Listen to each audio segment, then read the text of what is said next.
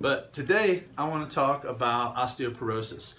I started talking about this a couple weeks ago and I went over the contraindications of osteoporosis in a Pilates mat class. And I want to kind of go over that a little bit, but I want to build on that a little bit as well.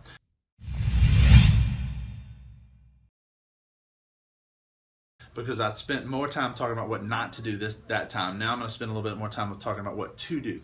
But let's review what not to do.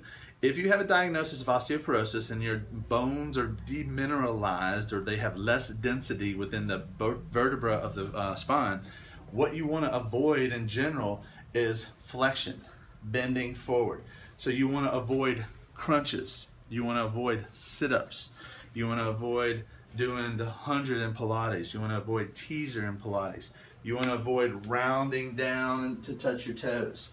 Again, these are things that you want to avoid because of the demineralization and the wedging of the vertebra where you can then fracture the vertebra fairly easily. Now, I don't want to scare you, but it's one of those things that this is the one time where you have a brittle back, if you have osteoporosis, we want to be cautious and we want to avoid those things that are going to be detrimental because what happens is you don't know osteoporosis you never know the severity of it until you have a fractured vertebra and you're then decon- um, you're, you're like out of commission for 8 to 12 weeks.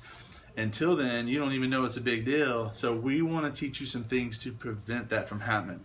Now the next thing i want to talk about is what to do. And what to do is weight bearing bone building exercises. And what i mean by weight bearing? Your body weight. So the most important one is standing and working in this way. Now I'm going to go on a little tangent here for a second. I had a patient recently went to her doctor, and her doctor, she told her doctor she was going to start coming in here to do some Pilates and some strengthening with me, and her doctor said no, don't go to physical therapy, go to aquatic therapy, where in water you're unweighted. So I don't understand that that idea you want to be doing weight bearing exercises. Let's go into what to do with having someone uh, with osteoporosis, some simple bone building weight bearing exercises. So come on over, Jared.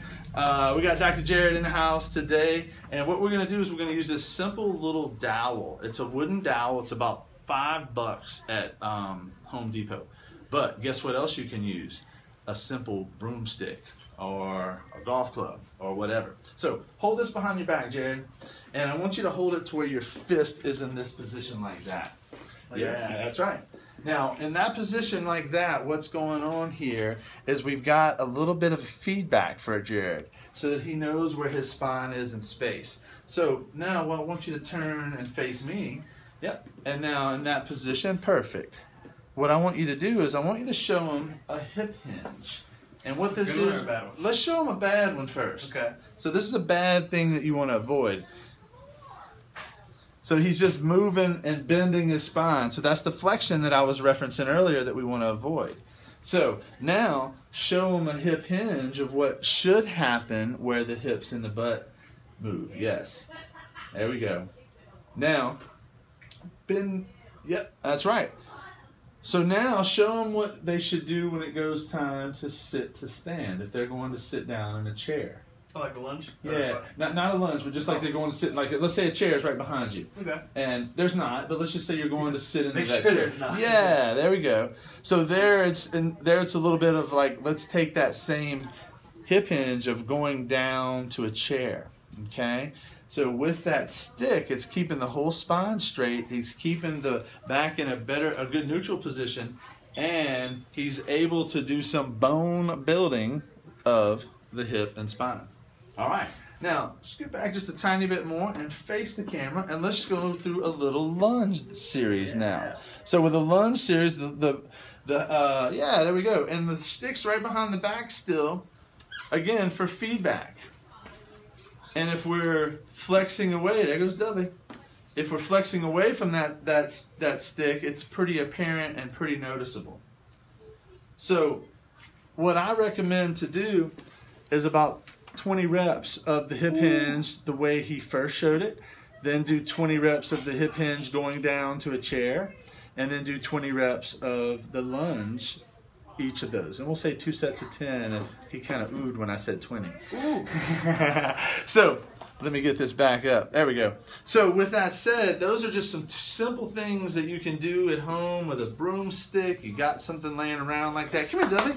Um, and if you um, don't have anything, again, three dollars, five dollars um, at Home Depot, at Lowe's, or whatever. You'll find a stick out in the woods. That's right. But make sure it's not too crooked like your spine.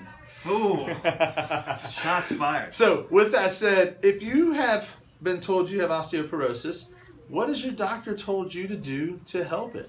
Other than give you Boniva or give you um, medications, uh, I'd be curious. Put in the comments below what you've done or what has been helpful for your osteoporosis situation. Um, I have a lady now, I'll tell a quick story and then we'll wrap it up. I have a lady that I've been seeing uh, for PT. She came and saw me the first summer we opened 13 years ago. And since then, she's been doing our Pilates classes.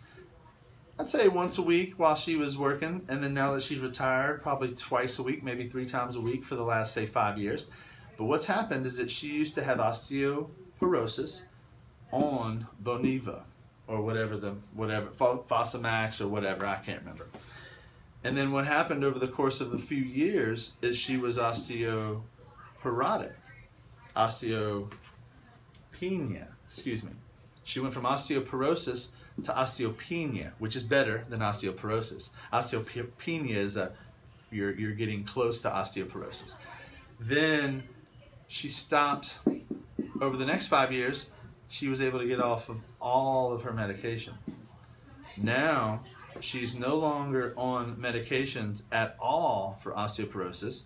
She has a little osteopenia in one hip. The other hip has cleared up, and the thoracic vertebra has cleared up.